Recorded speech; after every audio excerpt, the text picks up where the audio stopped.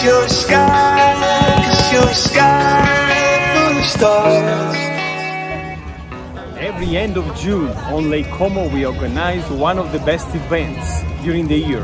Right in front of the island we have on Lake Como, it's the only island we have on Lake Como, we organize the reconstruction of the destruction of the island. It's an old event that occurred in 1169, just after the war between Milan and Como. Anyway, that island on the 24th of June 1169 was totally destroyed. Every year that's why we reconstruct the, that event. You would see with this beautiful show with uh, fireworks and uh, they simulate the fire that destroyed the island that night. Since the afternoon, thousands of people gather here around the area, right in front of the island, and they all come here because they want to attend the show.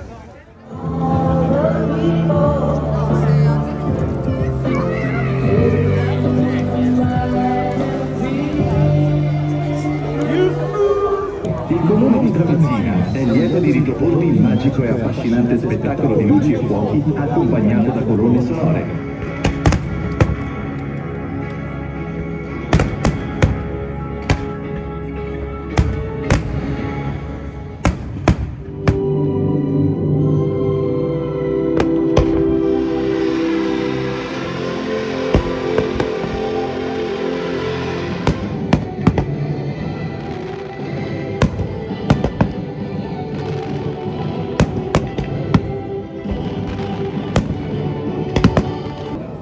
Vi accolgo sulle acque che bagnano il mio suolo.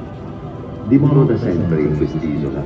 Sono invisibile ai distratti, ma ai curiosi e agli attenti offro paesaggi suggestivi e narro aneddoti del mio passato, mostrando con orgoglio le cicatrici che rimangono e ricoprono la mia superficie. Sono l'anima dell'isola Comacina,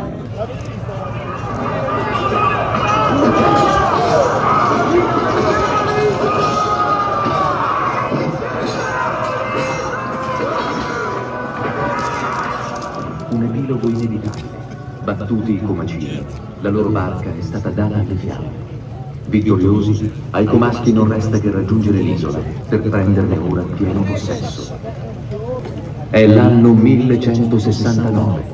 L'isola viene data alle fiamme e rasa al suolo, con case, chiese, castelli e tutto quanto vi era di costruito.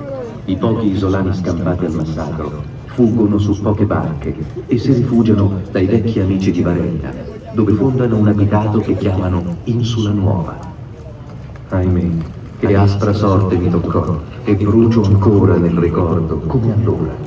Ma i miei abitanti, gli isolani, non celebrano certo oggi la mia disfatta, bensì vogliono rievocare con questo evento il passato glorioso delle mie dirupate sponde, l'isola Comacina, forte e salda nei suoi baluardi e torri, terra carezzata da dolci acque, che fu rifugio al re e a condottiere di eserciti, che ora è segno vivo nei vostri